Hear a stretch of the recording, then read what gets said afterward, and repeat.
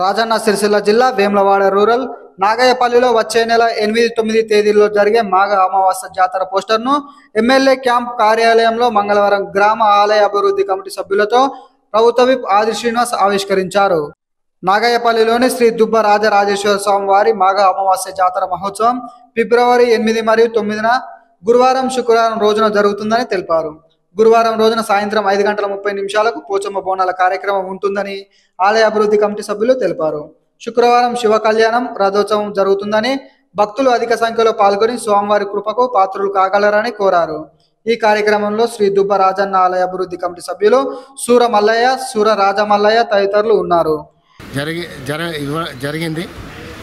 కావున దుబ్బరాయేశ్వని జాతర ఎనిమిది తారీఖు రోజున బోనాల కార్యక్రమం ఉంటుంది. మరియు తొమ్మిది తారీఖు పొద్దున రథ రథ రథ ఉత్సాహ కార్యక్రమం ఉంటుంది.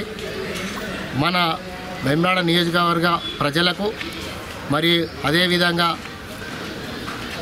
రూరల్ మండల్ వేములవాడ రూరల్ మండల్ ప్రజలకు అందరికీ జాతరకు రావాలని కోరుచు అందరికీ నా యొక్క నమస్కారాలు తెలుపుచు